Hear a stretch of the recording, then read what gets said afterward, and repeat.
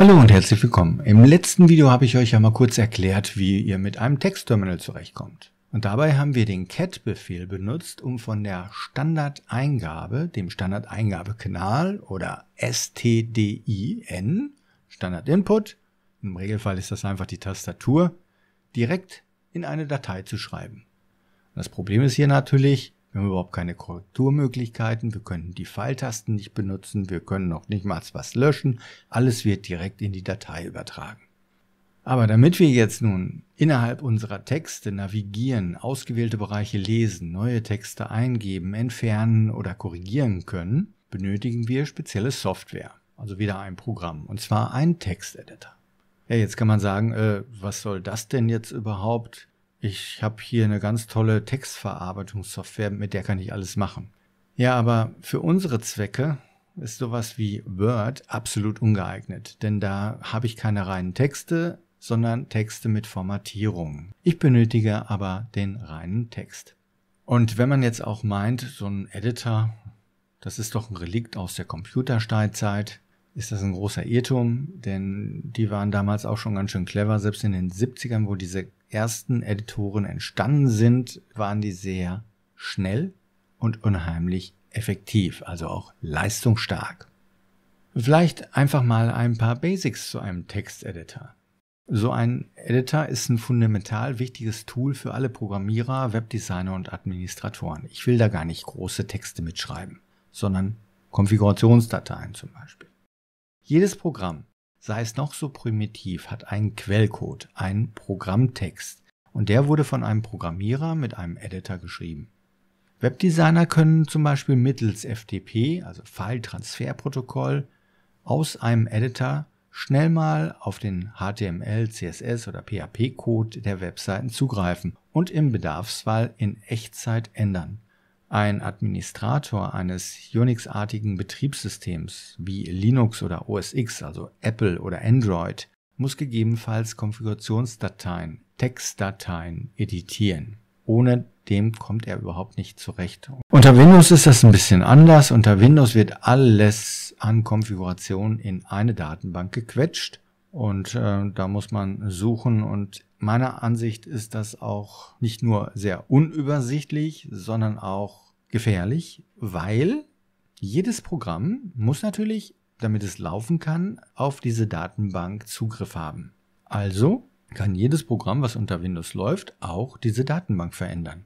Und da schreit natürlich die Mailware oder der Virus Hallo. Und das ist bei Linux nicht der Fall. Auf einem Webserver, auf einem großen Internetserver da hat jede einzelne Konfigurationsdatei, jede Textdatei ihre eigenen Rechte. Diese Rechte bestimmen darüber, ob ich die überhaupt sehen oder lesen kann. Unter Linux gibt es hier sogar ein eigenes Verzeichnis. ETC, vielleicht schon mal gesehen. ETC heißt nichts anderes als Editable Text Configuration. Ja, ich hoffe, ich habe euch jetzt überzeugt, wir brauchen jetzt einen vernünftigen Editor.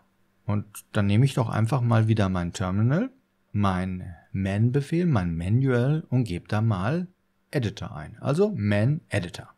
Und hier unter Linux Mint wird mir sofort der verbesserte VI, also der Vim Improve, vorgeschlagen. Der VI wurde in den 70ern entwickelt und galt damals als Standard Unix Editor. Ende der 80er kaufte sich ein holländischer Elektroingenieur namens Bram Molinar einen Amiga-Computer und auf diesem war ein VI-Klon drauf. Den entwickelte er weiter und veröffentlichte den VI Improve, den verbesserten VI, als Open Source Projekt. Ich glaube, heute gibt es kein Betriebssystem, auf dem der VI nicht läuft. Also installieren wir ihn doch einfach mal mit sudo apt install vim und starten ihn mit VI. So, und da sind wir schon in unserem verbesserten Vim, den Vim Improve, auch wenn wir nur VI eingegeben haben, Version 8.2, die neueste Version, die ich jetzt hier auf meinem Rechner installiert habe. Ich glaube, es gibt schon die 9er. Ich habe auf meinem Tablet auch ein Vim installiert und da ist es die 9er und das habe ich dann unter Thermux gemacht, heißt das Terminal Emulation auf jeden Fall. Bei mir auf dem NAS läuft auch der VI, obwohl da noch nicht mal so ein Befehl wie less läuft oder das Manual, aber der VI funktioniert. Wie gesagt, auf jedem Betriebssystem habt ihr diesen Editor zur Verfügung und damit kommt ihr auf jeden Fall weiter. Und deswegen wollen wir den ja heute auch nochmal ein bisschen behandeln. Mit äh, Doppelpunkt Help haben wir die Möglichkeit, uns zu registrieren bzw. Informationen für unsere Registrierung zu bekommen, dass wir da mitmachen können. Da gibt es auch noch andere Befehle wie Doppelpunkt Help ICCF. Das ist dann eine Entwicklungshilfe für Kinder in Uganda, auch ein Projekt von Bram Molina und so einiges mehr. Auf jeden Fall mit Doppelpunkt und Help kriegen wir Hilfe. Wozu auch immer. Zum Beispiel da unten sehen wir Help Version 8. Alles über diese neuere Version oder einfach nur Help bzw. F1 für die Online-Hilfe. Wir können da auch einfach nur H tippen, beziehungsweise Doppelpunkt. Und H-Doppelpunkt ist jetzt in diesem Zusammenhang sehr, sehr wichtig. Und dann kriegen wir auch eine Hilfe. Der Doppelpunkt, der ist nämlich wichtig, um in einen anderen Modus zu kommen. Wir sehen unten, da steht normal. Und mit Doppelpunkt kommen wir in den Command-Modus. So, auf jeden Fall, Doppelpunkt, ganz, ganz wichtig im Vim, um den normalen Modus zu verlassen und in eine Kommandozeile zu gelangen. Und jetzt können wir H drücken. Oder wir drücken Q und dann ist die Sache jetzt gegessen und wir würden die Vim sofort wieder verlassen. Q immer für Quit. Das gilt bei vielen Programmen. Nein, wir drücken H. Das muss reichen und Enter. Und jetzt sind wir hier in der Hilfe, haben die erste Datei Hilfe Text angezeigt. Und da steht auch was, wie wir uns bewegen können. Denn wenn man mit zehn Fingern schreibt, hat man die Zeigefinger einmal auf dem J und einmal auf den F. Die Entfernung zu den Pfeiltasten ist ja viel zu weit. Mit J geht es also nach unten, Zeile runter. Mit K geht es wieder nach oben. J wieder nach unten. Mit L nach rechts. Und mit H geht es wieder zurück. Und so können wir hier navigieren. Wenn ihr Bock an Pac-Man habt, dann installiert doch mal PackVim und da könnt ihr das dann mit diesen Tasten steuern. PackVim läuft so ähnlich wie N-Invader auch im Terminal.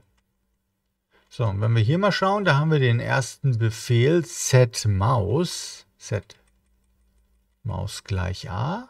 Und ganz wichtig, Doppelpunkt, das ist ein Kommandozeilenbefehl. Und damit schalte ich auch eine Mausunterstützung ein. Also kann ich im Vim im Text-Vim auch die Maus benutzen, zum Beispiel zum Markieren. Wenn wir was markieren, dann haben wir wieder einen anderen Modus, das ist der virtuelle Modus. Wir sind jetzt hier im normalen Modus und durch Tippen mit J, K und L bewegen wir uns da drin, im normalen Modus. Jetzt ein bisschen weiter runtergehen, dann sehen wir hier auch schon den virtuellen Modus, den Insert-Modus, den Kommandozahlen-Modus mit dem Doppelpunkt, den haben wir ja vorhin benutzt. Hier ist der Doppelpunkt. Müssen wir jetzt nicht auf alles eingehen. Hier oben sehe ich noch Bars. Das ist auch ein Beispiel, um einen Link in der Hilfedatei anzuklicken. Das soll ich mit, also Control steht hier, Control und eckige Klammer zu. Ich mache das mit Steuerung eckige Klammer zu. Auf dem Mac ist es dann so, dass man Command und eckige Klammer zunimmt. Bei mir ist es Steuerung, Alt, GR und die 9. Und schon bin ich jetzt zu diesem Bars-Link hingesprungen, einfach nur für ein kleines Beispiel. Und mit Steuerung und O springe ich wieder zurück. Also nochmal Steuerung, Alt, GR und die 9 und wir springen zum Link und Steuerung und O und wir kommen wieder zurück. Und mit JKL navigieren wir nochmal weiter runter. So, und hier ist noch was Interessantes. In dieser Zeile bin ich hier hinten bei diesem You will. Und ich möchte aber nach ganz vorne. Wie mache ich das denn? Ich möchte ganz schnell nach vorne.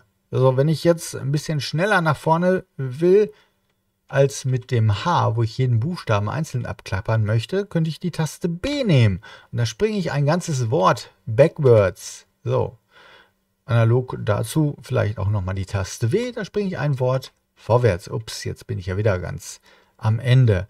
Also mit B zurück muss ich mehrmals drücken. Und wenn ich jetzt eine Zahl noch vor diesem B wähle, zum Beispiel die 4, und dann das B drücke, dann springe ich vier Wörter zurück. Das kann sehr hilfreich sein, sowas.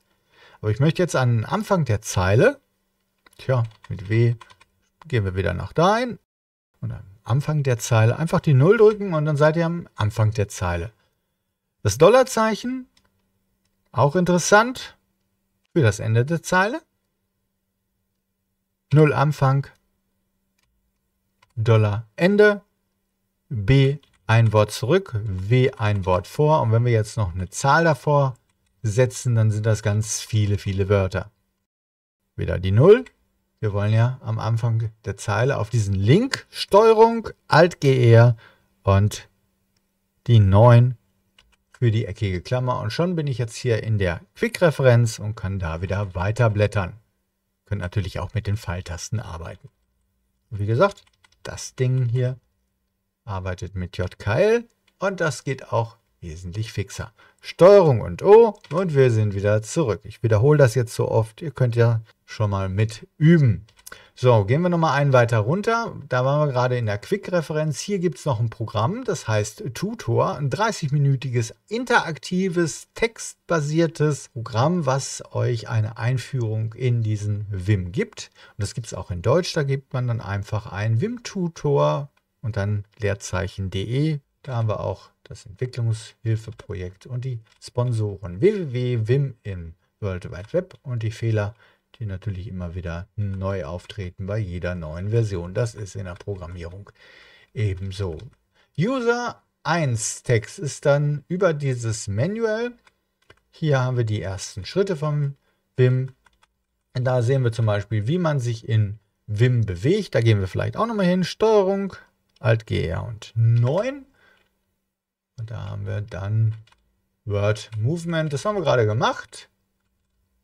Wie wir uns mit einzelnen Wörtern bewegen. Da zum Beispiel WWW ist in diesem Fall drei Wörter weiter. BBB drei Wörter zurück. Und da gibt es auch noch andere Möglichkeiten wie G und E. E für End. Wenn ich jetzt am Anfang, am Anfang von meinem Manual möchte, dann drücke ich jetzt einfach GG. Jetzt bin ich hier am Anfang dieser Datei User 3. Wenn ich Shift G drücke, bin ich am Ende dieser Datei. Möchte ich wieder zurück, drücke ich Steuerung und O. Das solltet ihr jetzt langsam schon kennen mit dem Steuerung O. So, geht immer noch weiter zurück. Jetzt bin ich ganz am Anfang meiner ersten Help-Datei. Um diese Hilfe jetzt zu verlassen, nehmen wir wieder den Doppelpunkt. Dann haben wir den da unten blinken. Also sind wir in der Kommandozeile, drücken Q ein. Jetzt verlassen wir Vim nicht, sondern wir sind jetzt wieder im Vim Normalmodus und haben mit Q die Hilfe verlassen. Wenn ich jetzt nochmal Q drücken würde, dann würde ich Vim verlassen. Mit VI geht es wieder in den Vim. Mit Doppelpunkt Q geht es heraus. Wieder in den Vim. Mit Doppelpunkt H habe ich die Hilfe. Ich glaube, sollte einleuchtend sein. Mit Doppelpunkt Q komme ich aus der Hilfe heraus. Mit Doppelpunkt Q komme ich dann aus dem Vim heraus. Mit Steuerung L lösche ich meinen Bildschirm oder ich müsste Clear eingeben. Egal. So, wir wollen jetzt eine neue Datei eröffnen. Doppelpunkt Datei. Auch sagen wir mal .txt. Oh, die gibt es schon. Ne? Doppelpunkt Q gehen wir heraus und mit rm löschen wir die Datei mal erst. Muss ich nicht, mache ich aber. rm-Datei gelöscht. Oder wir nehmen jetzt einfach mal eine neue Datei, vi Datei. Unten steht jetzt Normalmodus, Datei und die Datei wird jetzt neu erstellt. Jetzt ist noch gar nichts drin, auch wenn mein Cursor da blinkt und das sieht so aus, als wäre eine Absatzmarke. Ist aber im Moment nicht der Fall, da ist gar nichts drin. Wenn ich die jetzt wieder verlasse, ist sie, glaube ich, sogar weg. Versuchen wir es. Doppelpunkt Q, wir sind draußen und geben jetzt mal ls und DAT-Sternchen ein. Suchen nach den Dateien. Ne, gibt es nichts. Also wir haben die Datei noch gar nicht eröffnet. Also gehen wir mit VI-Datei, öffnen die Datei und schreiben mal was rein. So, wie mache ich das jetzt?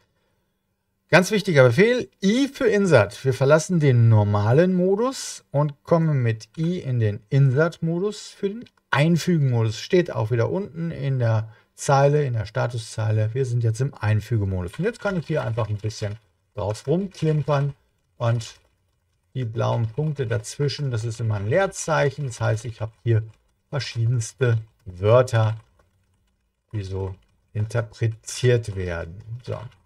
Was Besonderes sind hier auch noch die Klammern. So was kann man dann auch machen. Machen wir die Klammer wieder zu.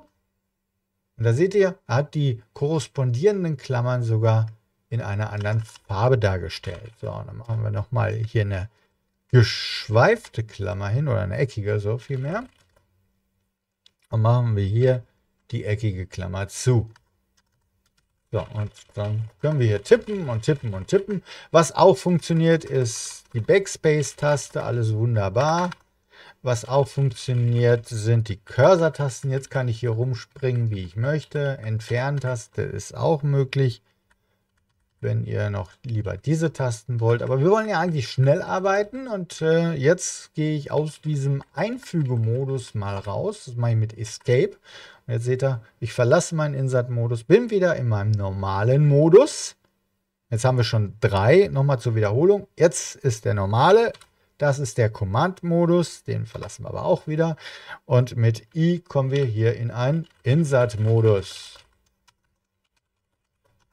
So, Escape sind wir im normalen Modus mit Doppelpunkt im Command-Modus und mit W würden wir jetzt diesen ganzen Kram in unsere Datei schreiben. Machen wir mal. W. So, wurde in Datei geschrieben. Er zeigt mir sogar an, wie viele Zeichen oder Blocks, noch Prozentangaben, Zeilenangaben und so weiter und so fort. Apropos Zeilenangaben, wäre ja auch nicht schlecht, wenn ich jetzt programmieren möchte oder so. Hätte ich gerne mal meine Zahlennummerierung. Machen wir mal eben. Doppelpunkt. Set Number. Number brauche ich gar nicht ausschreiben. NU reicht. Bup. Und jetzt habe ich eine Zahlennummerierung. So, wo möchte ich denn jetzt hinspringen? Ach, ich möchte doch mal in die fünfte Zeile springen. Also Doppelpunkt und dann geben wir eine 5 ein. Und jetzt sind wir in der fünften Zeile. Da blinkt er. Jetzt möchte ich im Word weiter. Einmal W gedrückt, ja, das Wort ist nur E, nochmal ein Wort weiter, nochmal ein Wort weiter. Jetzt möchte ich zwei Wörter zurück. 2 B. Zwei Wörter backwards. Jetzt möchte ich zehn Wörter vor. 10 W. Und dann sind wir zehn Wörter vorwärts gesprungen. So können wir ganz schnell navigieren. Jetzt möchte ich am Anfang der Zeile, ich drücke die Null. Ich möchte ans Ende der Zeile, ich drücke Dollarzeichen. Ich möchte ans Ende meiner ganzen Datei, ich drücke Shift G, großes G. Ich möchte an Anfang meiner Datei, ich drücke GG, kleines g. Also zweimal kleines g. Könnte an der Stelle vielleicht sechs Zeilen runtergehen. Hm, versuchen wir es doch mal mit 6J. Ja, wunderbar. Ich bin sechs Zeilen runtergegangen, also bin ich auf Zeile 7.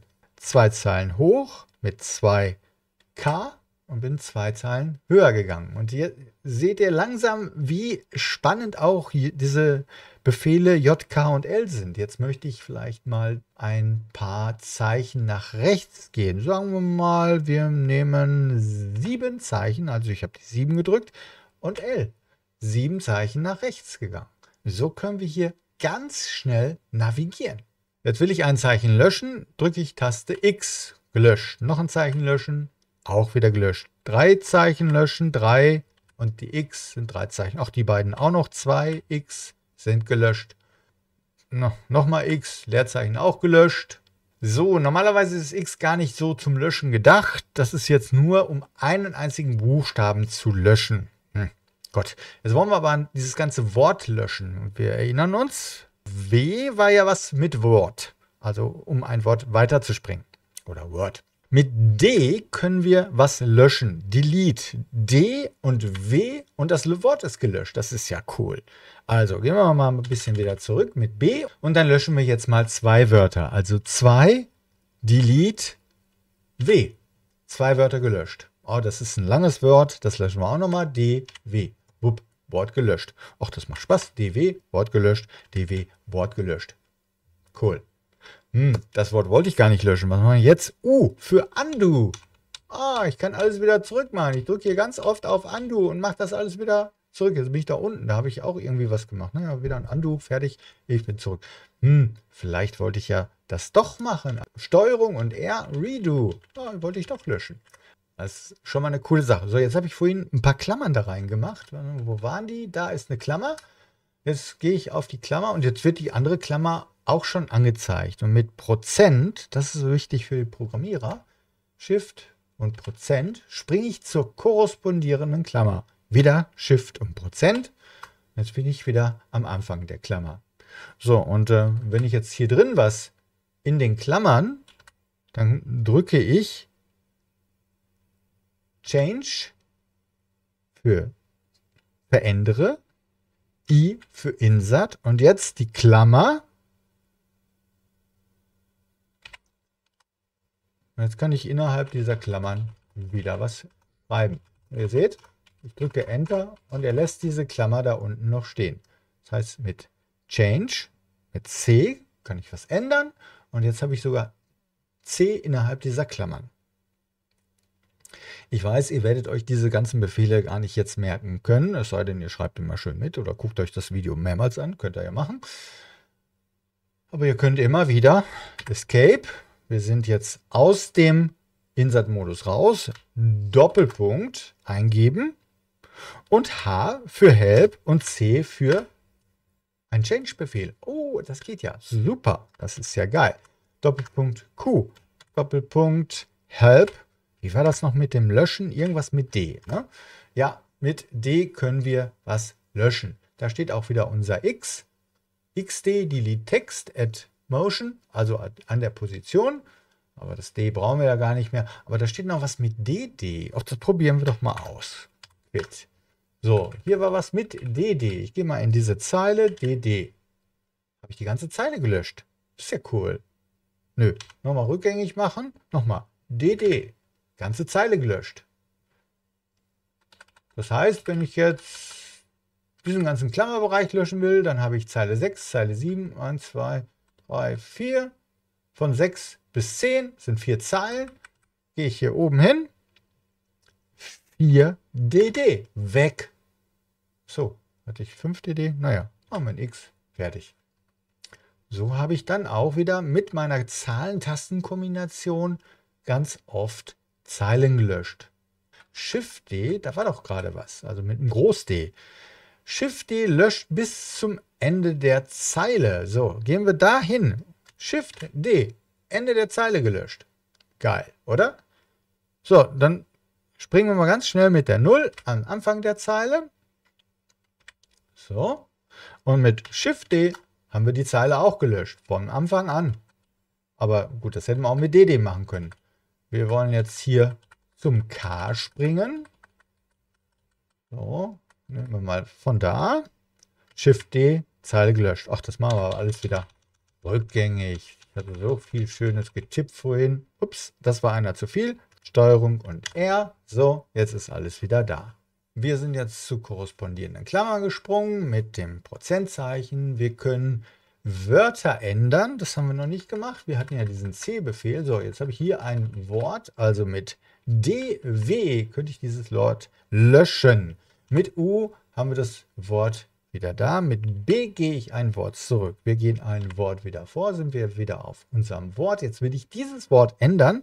Da mache ich CW für Change Word. Das Wort ist gelöscht worden, aber ich befinde mich automatisch im Insert Mode und könnte jetzt hier ein neues Wort hinsetzen.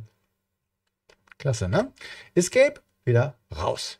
Die Zahlennummerierung möchte ich wieder ausschalten, also mache ich Set No Number. Mal gucken, ob das klappt. Jupp, Zahlennummerierung ist weg. Und so arbeitet man mit diesem Editor einfach super schnell und genial. So, jetzt habe ich vielleicht noch ein Problem. Ich, ich, ich bin ja ein GUI-Kind, also ich möchte grafische Oberflächen haben. Ich arbeite mit Fenstern, ne, so wie Microsoft sein ganzes Betriebssystem genannt hat. Also möchte ich ein Fenster haben. Wie mache ich das denn? Neues Fenster. Ja, gibt es auch einen Befehl. Und zwar müssen wir mal schauen, ob wir den finden. Wir können ja jetzt mal so tun, wir wissen nichts und äh, machen wir einen Doppelpunkt und ein H. Und äh, was hatte ich gesagt? Fenster hieß was mit Window, ne? H, Window. Ups, da habe ich eine ganze tolle Geschichte, äh, Hilfe für Window und könnte die jetzt hier mal durchgehen. Was ist das? Ich kann hier irgendwie neue Windows erstellen und äh, Windows zerteilen. Ich habe hier irgendwas mit einem Buffer. Hier sehen wir auch noch einen spannenden Befehl mit vim-o, File 1, File 2, File 3. Kann ich drei Dateien mit einem Befehl öffnen und habe die alle innerhalb mehrerer Fenster in meinem VI. Das soll erstmal an Hilfe von den Fenstern reichen. Wir bauen jetzt uns erstmal ein Fenster. So, Doppelpunkt. SP. Was passiert jetzt? Split. Ich habe jetzt meine Datei auf zwei Fenster aufgeteilt. Das heißt, ich könnte jetzt hier, wenn das ein Riesending wäre, erstmal im oberen Bereich suchen. Mein oberes Fenster. Ich könnte aber auch, indem ich mit Steuerung W und dann Pfeiltaste nach unten, jetzt bin ich im unteren Fenster oder ich klicke da einfach mit der Maus rein. Das geht auch, weil ich diese Mausunterstützung mit Set Maus gleich angemacht habe, könnte ich jetzt hier auch mit verschiedenen Fenstern arbeiten. So, jetzt bin ich hier oben, machen wir nochmal einen Doppelpunkt und machen wir mal ein VSP, das ist ein Vertical Split. Jetzt habe ich hier oben zwei Fenster und die kann ich jetzt hier auch in meiner Größe verändern. Da steht überall das gleiche drin. Das heißt, ich habe, jetzt sage ich, ja gut, zwei reichen. Ich will mal gucken, ob ich das hier oben vielleicht in dem Fenster ausführen kann. Und was kommt denn da raus, wenn ich jetzt mein Programm geschrieben habe? Na, machen wir mal was Neues. Ein Doppelpunkt wieder und geben mal ter ein, also T-E-R für Terminal.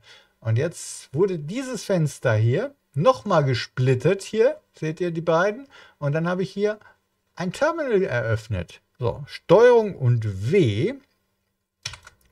Jetzt habe ich wieder so einen Fensterbefehl eingegeben und Pfeiltaste nach unten. Jetzt bin ich hier in diesem Fenster, in diesem Fenster. Und das lösche ich jetzt. Doppelpunkt Q, Quit.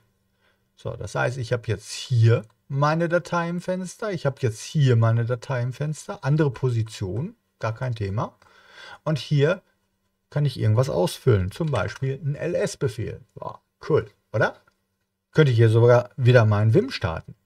Ne, das äh, wird mir jetzt aber hier zu kompliziert, deswegen gehen wir da raus. So, da habe ich wieder mein Fenster ges gesplittet. Einmal oben meine Datei und einmal unten meine Datei. So, hier unten ähm, machen wir jetzt vielleicht noch mal was. Und zwar, das ist ja vielleicht alles viel auf dem Bildschirm, wenn ich viele, viele Fenster öffne.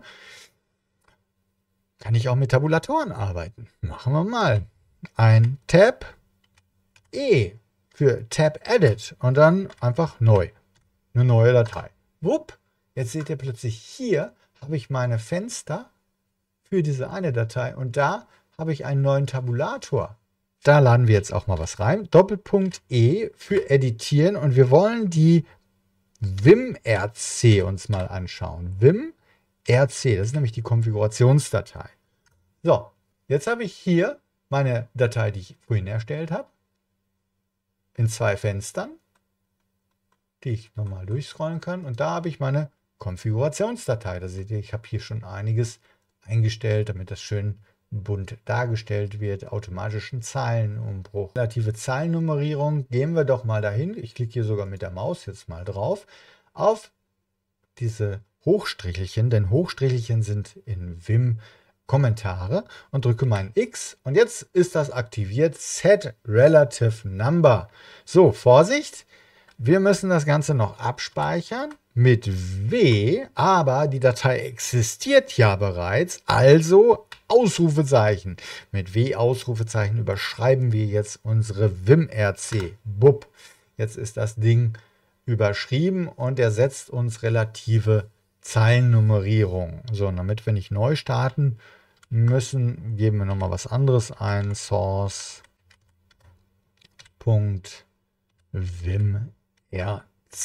Also jetzt wird die WimRC nochmal neu geladen. Und das ist jetzt auch eine raffinierte Sache. Schaut mal, wenn ich hier mit der Maus irgendwo bin, da ist dann Zeile 0 und darunter beginnt dann die Nummerierung. Das heißt, ich weiß immer, wie viele Zeilen ich hier ab da löschen darf. Muss ich noch nicht mal mehr rechnen. Mit Doppelpunkt Q gehen wir jetzt hier raus. Mit Doppelpunkt Q gehen wir da jetzt auch raus. Shift ZZ und dann ist man draußen. LS. So. Ähm, da ist noch eine Datei, ein Bild, Neofetch PNG. Auch sowas könnte ich mit Vim öffnen. Punkt. Da müsste ich dann binäre Optionen reinschreiben. Dann könnte ich das mir auch im Hexcode anschauen. Also ich habe jetzt hier mal eben ein Bild geöffnet als Binärcode. So, jetzt ähm, machen wir doch mal das eine nochmal mit VI und dann war da ein Minus O. Allerdings nehme ich jetzt kein kleines O, wie das vorhin in der Hilfe stand, sondern ein großes O. Und dann sage ich dat 1, dat 2, dat 3. Seht ihr? Ich habe drei Dateien geöffnet hier. Da, Datei 1, Datei 2, Datei 3. Und überall könnte ich jetzt mit I wieder was reinschreiben. Ich sehe gerade Dat2, Dat2. Habe ich mich da vertan? Ja, ich habe die Datei 2 wohl zweimal eingetragen. Das ist jetzt hier doppelt und das wäre jetzt Datei 1.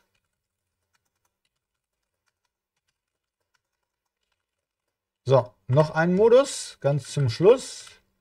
Gehe in diese Zeile, drücke V und jetzt kann ich hier so einen Bereich auswählen, drücke Y, dann ist das in die Zwischenablage eingefügt.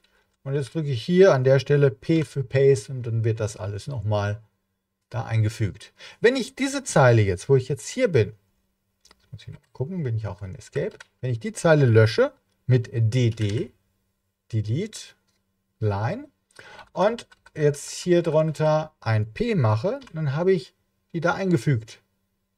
Geht auch. Also wenn ich was lösche, wird das erstmal in so einen Zwischenpuffer gesetzt. Jetzt machen wir mal hier ein P. Da ist mein Zwischenpuffer. Das erscheint jetzt zweimal, weil das ja hier zweimal die gleiche Datei ist. Also ich kann jetzt hier hochscrollen und hier weiter bearbeiten. So, jetzt geben wir da mal ein 500p. Puff. Jetzt habe ich 500 mal die gleiche Zahl hier eingegeben. Mit äh, Shift und G würde ich zur letzten Zeile springen. Jetzt habe ich natürlich hier diese relative Nummerierung drin. Das hilft mir jetzt nicht weiter. Würde ich das Ganze nochmal wiederholen wollen, muss ich einfach nur den Punkt drücken. Und dann steht da 500 Zeilen mehr eingegeben. Nochmal, also muss das jetzt hier schon eine ziemlich große Datei sein. Doppelpunkt W und Datei 2 wurde geschrieben. Mit Shift ZZ wird das verlassen. ZZ ZZ auch verlassen. Jetzt gucken wir mal, was wir hier haben. ls, irgendwas mit dat, Sternchen. Da habe ich Datei 1, Datei 2, ls minus Lisa oder minus L würde ich erreichen. So, da sehen wir, die hat schon ein paar Blöcke mehr. Und jetzt zum Schluss möchte ich euch nochmal den Vim-Tutor vorstellen. Also geben wir ein Vim-Tutor und den müssten wir jetzt in äh, Deutsch haben. Willkommen im Vim-Tutor Version 1.7.de. Und dann könnte ich hier mal schauen, was ich da machen soll. Das ist dieses interaktive Programm, das mir hilft, Vim zu lernen. Drücke Taste X, sowas haben wir gemacht, zum Löschen. Drücke I, um Text einzufügen. Drücke A, um Text zu ergänzen, anzufügen. Das haben wir nämlich noch nicht gemacht. Quit, gehen wir mal raus aus dem Vim-Tutor. Erstmal STRG L und dann gehen wir mal VI 3 ein. Oder wir nehmen die 2, die war ja schön groß. So. Und jetzt möchte ich hier irgendwie was ergänzen. Und zwar am Zeilenende. Das mache ich mit Shift A. Dann springe ich zum Zeilenende und dann könnte ich hier an der Stelle noch was einfügen.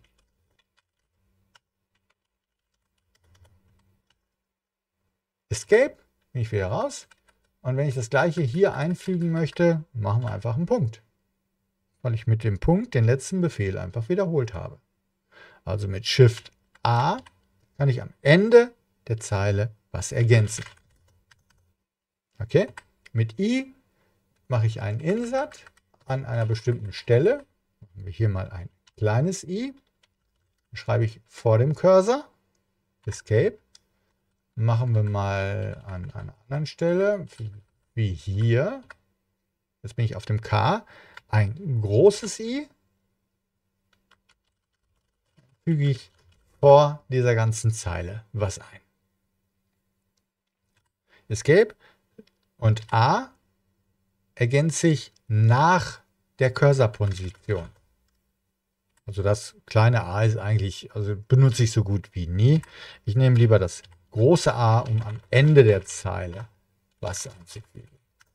Also kleines i, um irgendwo an einer bestimmten Position was einzufügen, zum Beispiel hier i, da kann ich dann was einfügen, Escape. Großes A, um am Ende der Zeile was einzufügen. So, und dann wollen wir mal hier 100 Zeilen löschen. Ab da, dann machen wir 100 DD. Upp, gelöscht. Drücke ich nochmal den Punkt. Wurden wieder 100 gelöscht. Das sieht man jetzt nicht so, weil das alles der gleiche Text ist. Obwohl, doch, jetzt fällt es langsam auf. Okay. Mit Shift G kommen wir ans Ende der Zeile. Mit GG kommen wir zum Anfang der ganzen Geschichte. Mit V könnte ich das hier wieder alles markieren. Und mit Y könnte ich das in meinen Zwischenbuffer reinsetzen. Und mit Paste könnte ich das jetzt hier wieder dran setzen. Okay? Und ähm, vielleicht nochmal so ein kleiner Dreher, der auch immer sehr hilfreich sein kann. Wenn ich jetzt hier das L löschen will, drücke ich ja X. Wenn ich das L wieder einfügen möchte, drücke ich P. Und jetzt habe ich dadurch mit XP, habe ich mal eben diese beiden Dinger umgedreht. Kann natürlich beim Programmieren mal schnell passieren, dass man irgendwie solche Klammern vertauscht oder sowas. Mal hier am Zeilenende nochmal sowas. Also ich vertausche diese beiden Klammern. Jetzt habe ich sie richtig hingeschrieben. Dann mache ich XP. So, jetzt sind sie andersrum.